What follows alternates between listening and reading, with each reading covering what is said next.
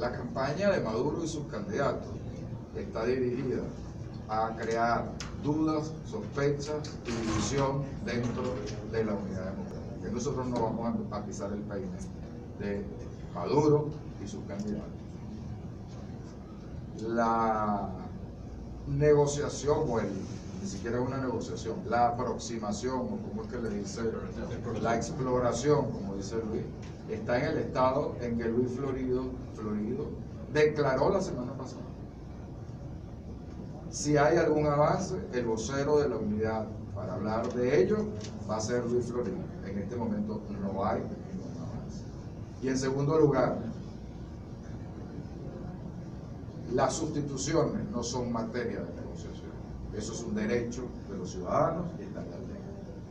Así que eso no puede ser objeto de una negociación.